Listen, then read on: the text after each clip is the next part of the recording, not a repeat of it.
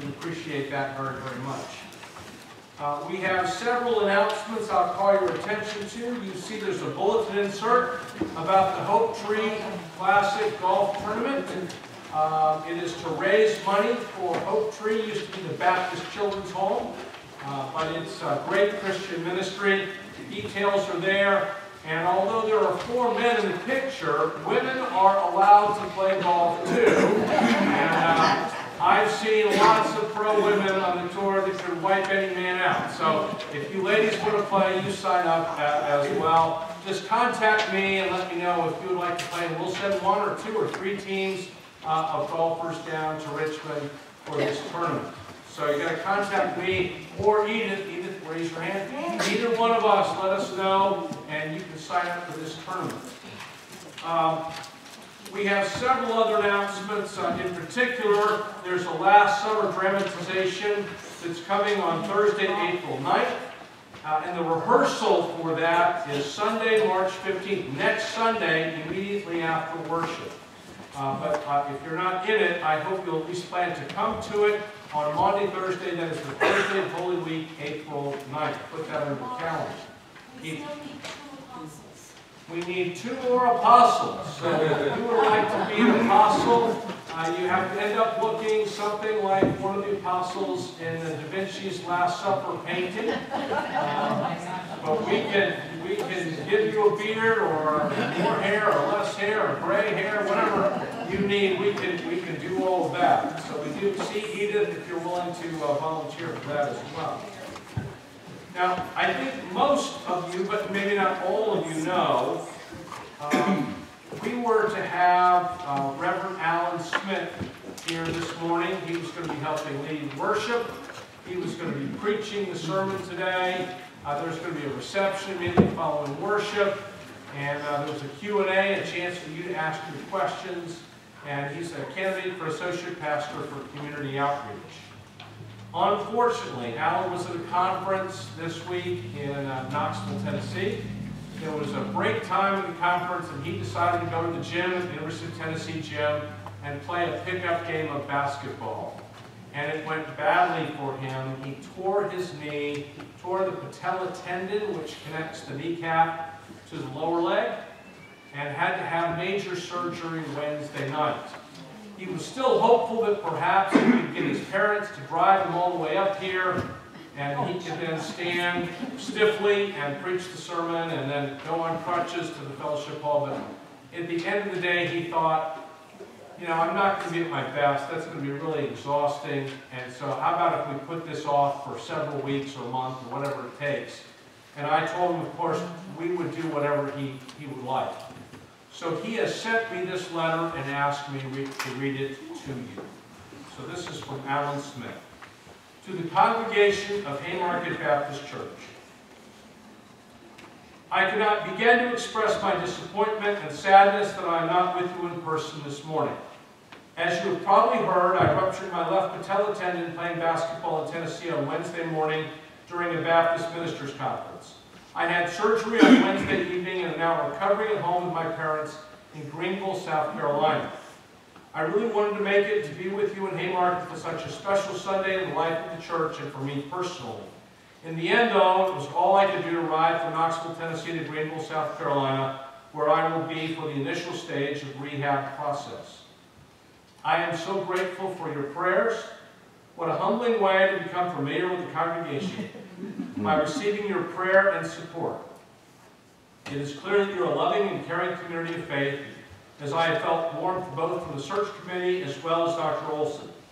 excuse me, who has been nothing uh, short of supportive, even in several phone calls late this week as I discerned the best course of action for this weekend.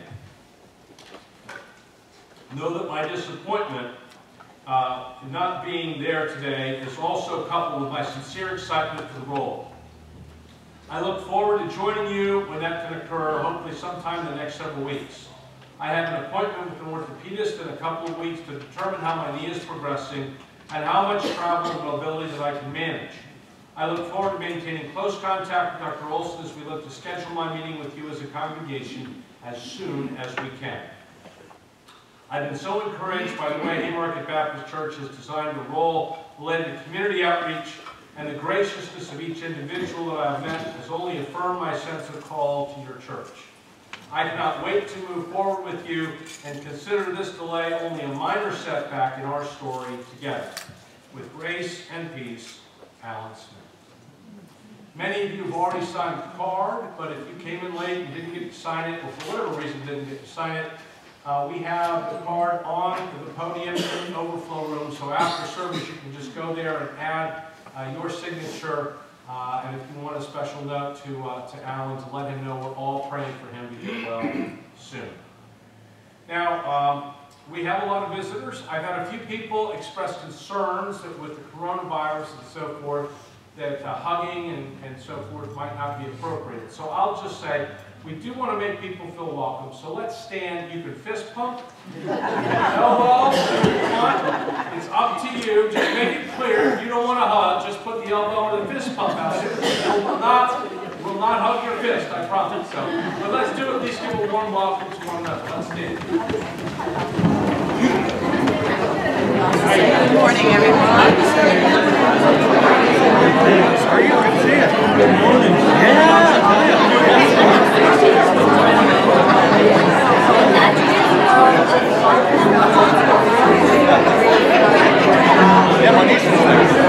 she's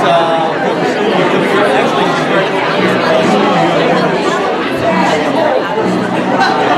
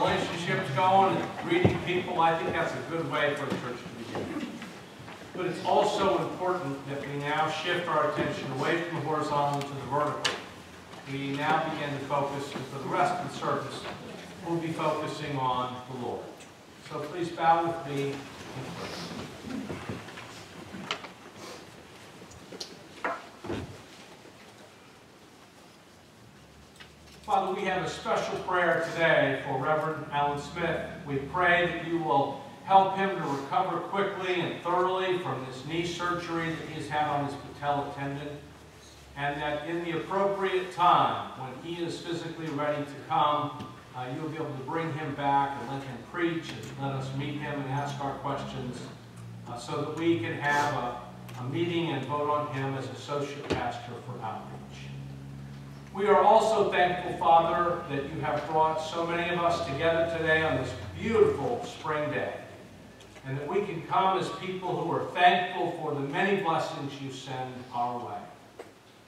Perhaps the greatest blessing of all is the sending of your Son, Jesus Christ, who is the one who showed us how to live, showed us how to love, and taught us how to pray when he said to his disciples, Our Father, which art in heaven, hallowed be thy name. Thy kingdom come, thy will be done, on earth as it is in heaven. Give us this day our daily bread, and forgive us our trespasses, as we forgive those who trespass against us. And lead us not into temptation, but deliver us from evil. For thine is the kingdom, and the power, and the glory forever. Amen.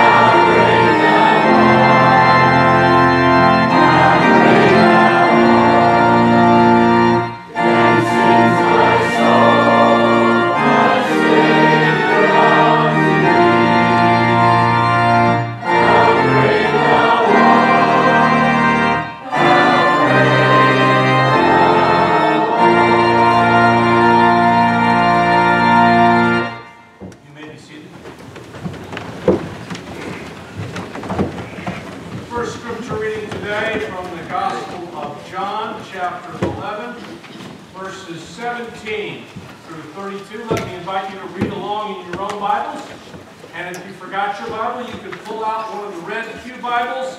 It's on page 1669 in your red Pew Bible.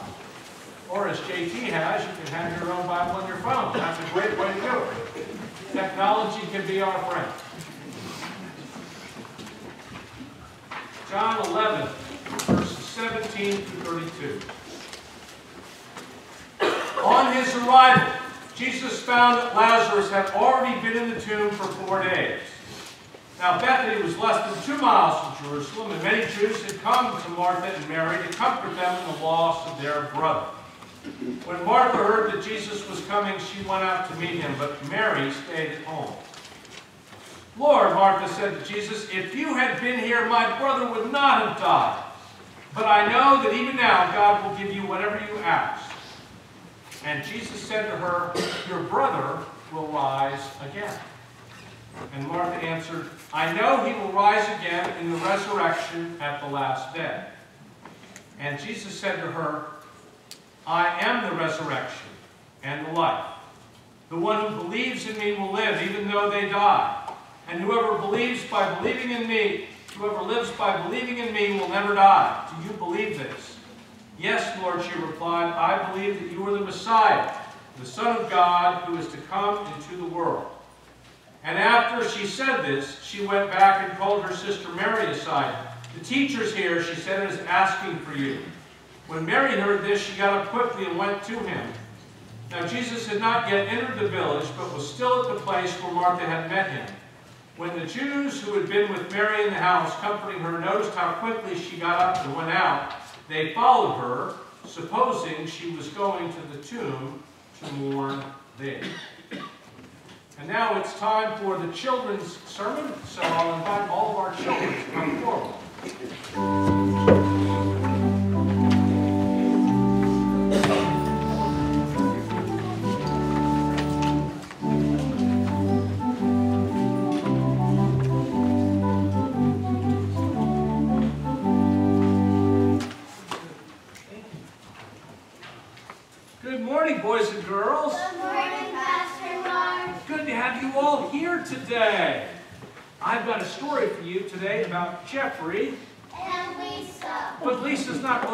Part of today's story, so she must be lost somewhere with a friend, you think?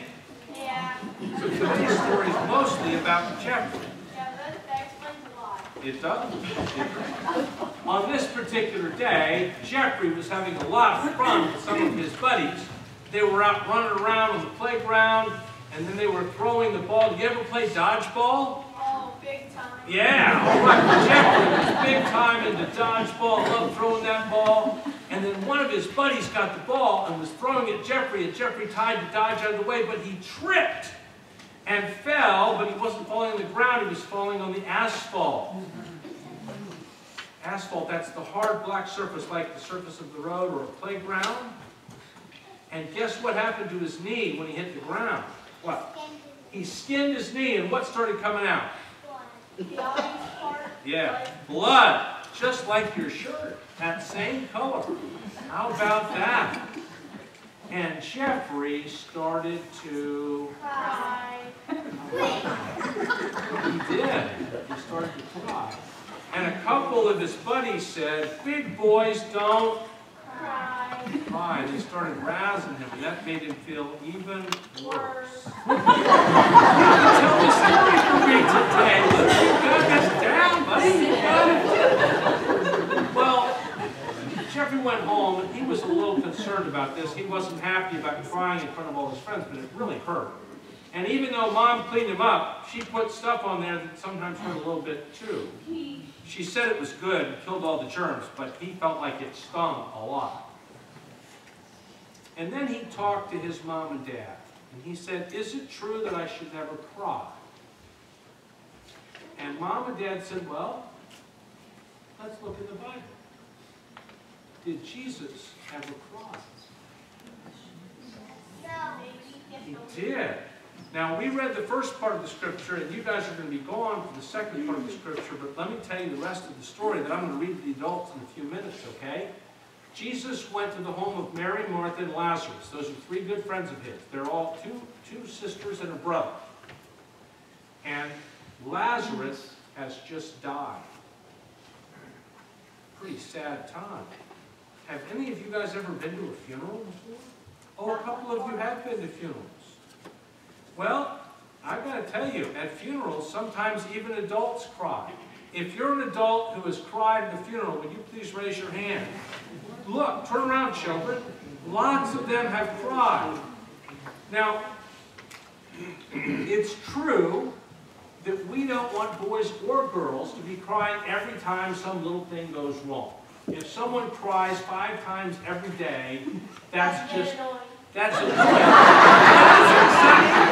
is exactly right. Adam, your turn, because you just us.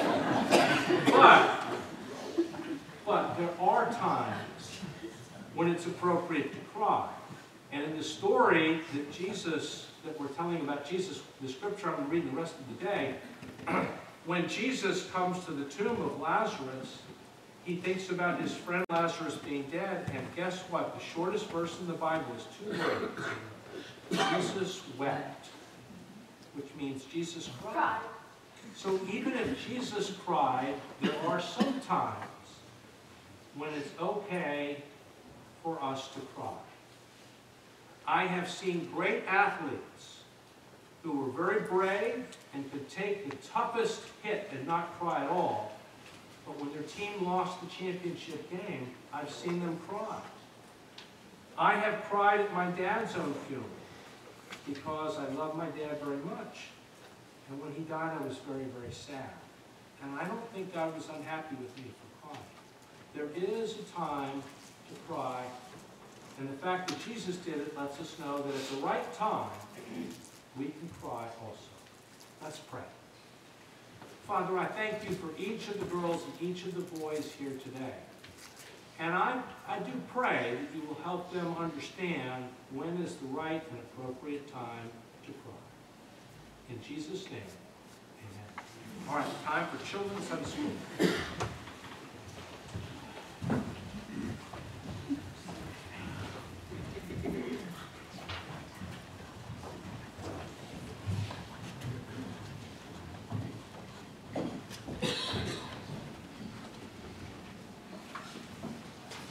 Let's take our hymnal and uh, turn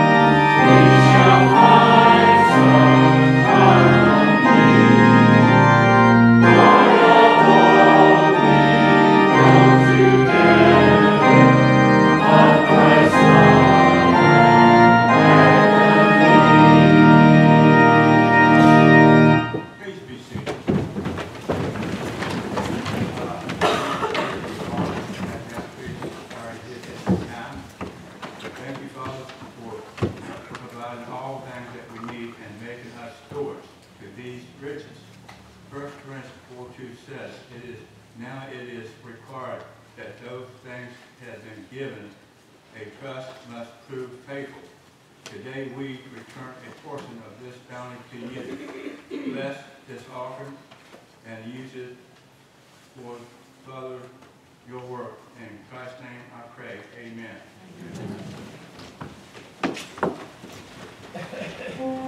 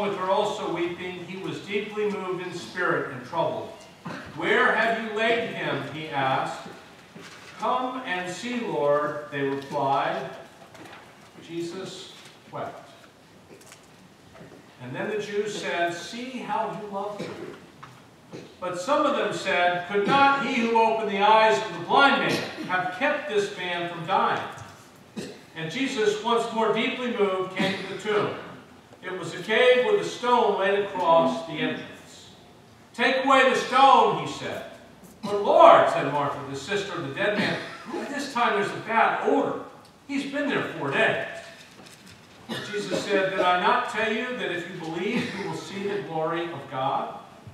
And so they took away the stone. And Jesus looked up and said, Father, I thank you that you have heard me.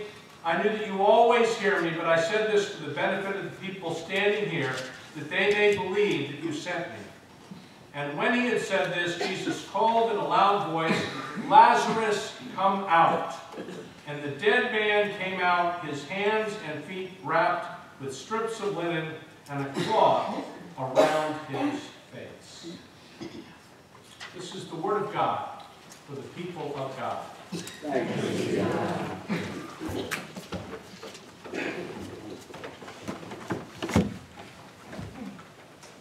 God wanted us to learn more about love even than we can learn from the Old Testament, though there are many lessons about love from the Old Testament.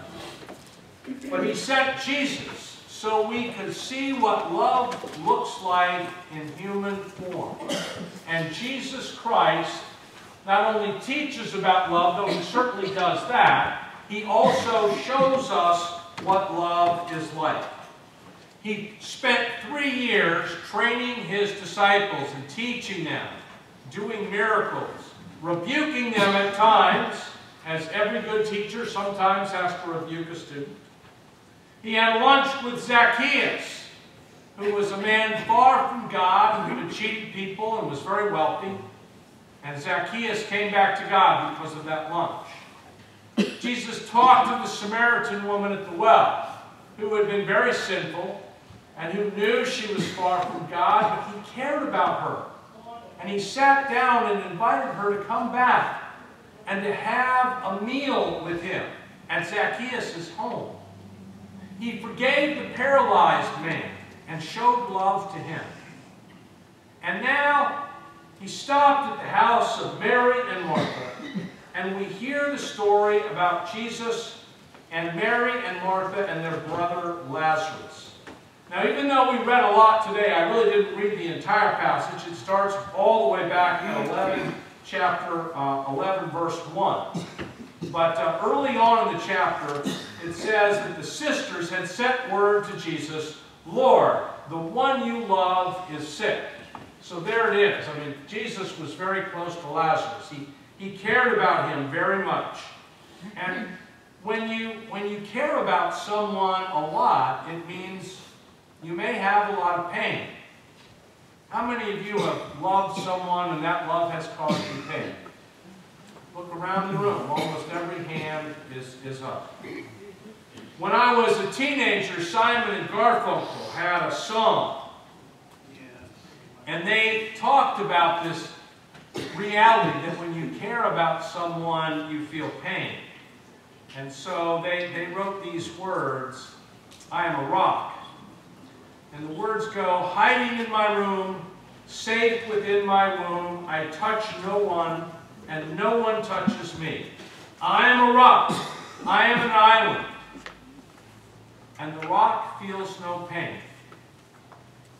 And an island never cries. And that is true. But that is a very sad way to go through life. Being removed from people so that you will not feel the pain that love sometimes brings. Being a pastor means not only do you have your own pain, but you get to share deeply the pain of your entire congregation and you see the difficult times that they go through. I think of Hansford Sullivan in my first church, Berea Baptist. And when I got there, Hansford hardly ever came to worship. And they told me he is a very faithful Christian and used to be here every single Sunday, but his wife is an invalid. She doesn't respond, she is in a bed, and he stays home with her pretty much all the time, and he turns her regularly so that she will never get a bed sore. And he did that for five years. I came to Berea probably at the end of four and a half years of that period. And then after six months when I was there, his wife died, and I did her funeral. And after that, Hansford was back in church every Sunday. But he said, I made sure that she never had a bed sore. And you, you see the pain that he went through watching his wife that he loved dearly and all of the problems that she went through that led to her final stages. And yet, I think if you'd asked Hansford, would you rather have never met the woman so you wouldn't have experienced that pain, he would have said no. The pain was part of the love. That's what God intended, and that's what God wanted a good husband to be. And he was there for her. One of the great joys I saw was about three or four months after Hansford's wife had died, or maybe it was six months, I don't remember how long. Remember, of course, she had been non-responsive for five years. I looked in the back left, where Hansford always sat with a couple other guys, and he wasn't there. I was surprised because he was always there. Once his wife had died, he was there every single Sunday. And then I noticed that right next to Virginia Sale, on the right side, was Hansford Sullivan sitting next to her. She was a widow. And uh, a few months later, they came to me and asked if I would do their wedding. And I, I was, I was delighted. Hansford understood that part of loving someone means that you have to feel the pain as well. God gives you the joys, He also gives you the pain, and you have to understand that. Death, of course, brings some of our greatest pains. When I think of times that I have seen people cry so often at, at funerals, or at the time that someone is dying. Uh, Elisabeth Kubler-Ross wrote a great classic on death and dying, she described as a psychologist the, the different stages of grief that people go through. Uh, a first stage for many is denial, saying absolutely not, the doctor must be wrong, the news can't be as bad as the doctor is saying. Then some people go through a stage of anger where they're mad at people. Sometimes someone that just got bad news about themselves or maybe about a loved one might be pretty irritable and become angry very easily. Sometimes people get to bargaining. They offer promises, sometimes to God, if God will do a great miracle. And then there's uh, depression. Sometimes people are depressed. Minirth Meier, uh, two psychologists who wrote many studies about the human condition, said that genuine grief, showing grief, is vitally necessary. Individuals who suffer a significant loss should definitely have a good cry. Not grieving can lead to a low-grade depression that can last for many years. When I was in seminary, I served Hickory Grove Baptist Church for two years as their part-time youth minister. And I would drive 100 miles from Louisville, Kentucky up to Independence. Uh, that's northern Kentucky, right outside of Cincinnati, Ohio. And I served that church with joy. They treated me very well. It was a great experience, a lot of nice teenagers that I really enjoyed. And right before I finished my term and graduated from the seminary, the church secretary, who was maybe 19 or 20, very young, there was a terrible train accident. The train hit the, the car. Her family was driving in. She wasn't in the car, but she lost a parent and I think two siblings who were killed in that terrible train accident. And the next time she came to church and I saw her, I tried to understand her grief. And she just smiled and said, I'm fine. Uh, what, what, do you have for me to type up? She didn't want to deal with grief in any way, shape, or form. And of course, you can't make someone deal, deal with it. But I, I had to think that that wasn't a healthy way to, to deal with it because deep down inside, got to be tearing you up to lose people in such a terrible way. From the time that we are small, and especially, at least back in my day, especially if you were a boy, you heard the phrase, big boys don't cry. And of course, as a little boy, you cry when you fall down and all sorts of things, but you figure out fairly quickly, if you want to be counted as a big boy, and of course, every little boy wants to be a big boy, then you better not keep crying, least not so often. And it's tough. You, you learn to put the crying deep down inside. Some men learn the lesson so well they never cry after that. And I, I think that that is a, uh, a problem. Linda and I have been watching uh, the Netflix series called The Crown. It's about Queen Elizabeth, and it, it really tells the story pretty accurately, historically accurate. And we've just come to the episode where there's a terrible, terrible accident, a tragedy in Wales, in a mining town, where a huge amount of sludge from the mine uh, breaks loose and flows down the hill and, and crashes into an elementary school. More than 100 children are killed by this terrible tragedy. And uh, some of the political leaders encourage the Queen to go visit this little mining village, and she does not want to go. And uh, finally, she, she gives in because of public pressure and goes to visit. But she explained to the Prime Minister that ever since she's been a little girl, she is unable to cry. She said, it just, it just doesn't come to me. And people look at me and assume that I don't care. But that's not true. Deep down inside, I, I really care. I think for most of us, it's healthy to show that we care and at the appropriate time for us to cry. Now, sometimes there's a price to be paid. 1972, when uh, it was about this time of the year, all the politicians were vying to see who was going to uh, run. And that year, the Democrats were trying to choose a, a challenger to Richard Nixon. And Edmund Muskie was one of the favorites. But there was a public lecture, a public discussion with a microphone, and he talked about some accusations, I think, uh, about himself, and he broke into tears. And a lot of people think that cost him the Democratic nomination for president in 1972 because a lot of people said you shouldn't be crying if you're male. But I think that's really unfortunate. Crying is innate, it's part of God's design. From the time we're little babies, we cry. First thing a healthy baby does is what? Cry. cry. There was a study done in 1967. They had eight mothers listen to tape recordings of their baby, but 30 other babies. So there's 31 total babies in the study. They tape recorded all 31 of them. They picked out eight moms, and they had them listen to all 31 cries. Every one of those moms could pick out their baby's cry. It's unique. It is a good thing. It's designed by God. And I think there are times to cry. And my ultimate example, of course, is from the life of Jesus, the shortest verse in the Bible. Some of you have teased about this verse. When you were a teenager or in some situation where you had to learn a Bible verse, some of you said, I've already got my verse.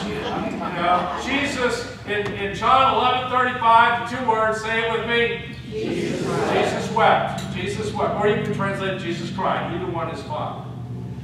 But of course, the significance is not how short the verse is, but that Jesus himself showed sorrow, that he wept because his good friend Lazarus had died. I'm not a big crier myself, but there are times that I cry. Almost every time I watch the movie, It's a Wonderful Life. And I get to the end of the movie, and everything is falling apart for Jimmy Stewart. And his friends all come with money. And they, they put it in a big pile, and, and his uncle's counting the dollars and ringing it up. And, and all the people come through for him. And almost every time I watch that movie, I, I cry. Linda and I cried when we dropped our daughters off at college. You know, you drop them off with the bus for kindergarten and you cry.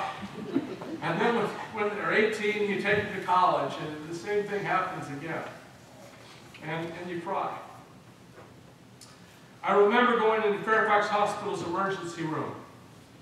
In 1986, I got the call from my sister-in-law that my dad had had a massive heart attack and I had to come down. And I drove from Charlottesville.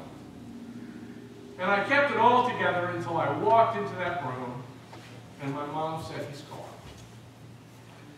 And I just burst into tears because I love my dad very much. He did so much for me. Some of you have lost a spouse. C.S. Lewis lost his wife, Joy. He said in the Grief Observed, You tell me, quote, she goes on, but my heart and body are crying out, Come back, come back. But I know this is impossible. I know that the thing I want is exactly the thing I can never get. The old life, the jokes, the drinks, the arguments, the lovemaking, the tiny, heartbreaking commonplace. On any view whatever, to say she is dead is to say all that is gone. It is a part of the past. And the past is the past, and what that is what time means. And time itself is one more name for death. God does not keep us from tears. Because we love people, we will have to cry at times. But as we share in the tears of Jesus, we also remember, and the raising of Lazarus reminds us of Easter that is still to come. And it reminds us that the resurrection is the ultimate and only final answer to our tears. That only then will God wipe all of our tears away. Until then, we have to cry together. Because the best way to go through a crisis and the best way to experience tears is to have people you love comfort you and go through those difficult times with you. And that's why God puts us in a church, so we can reach out to one another at the most difficult time of all. And I pray that we will continue to do that with one another. And then on Easter morning, we will come and remember that even when it's Friday, Sunday is coming. The resurrection is still to come.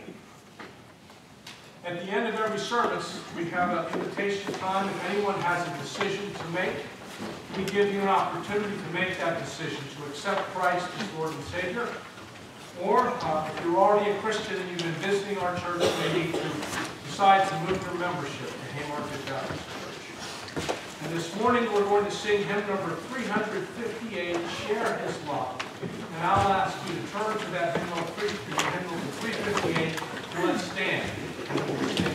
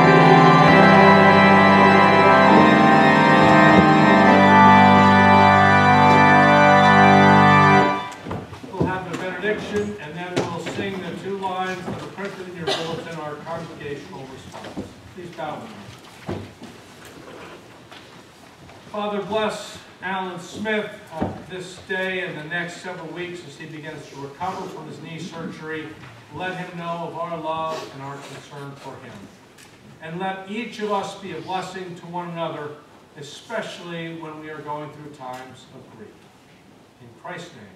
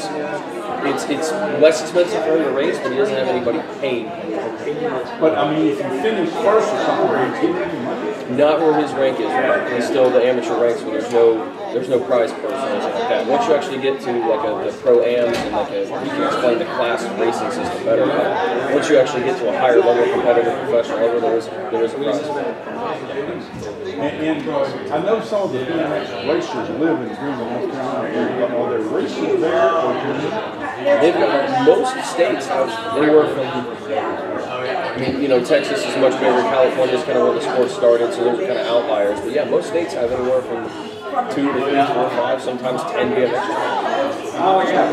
Which is a, a good Because uh, spot I for think that there. guy that actually committed suicide was pretty famous BMX racer. Dave Dave Mirra. He had a amorphous in Greenville. I don't know if it's still there since he had it. That's a lot of the freestyle where they do a lot of tricks and like big air and jumps and stuff like that. That's it's, it's still on the bicycle, it's just a different discipline.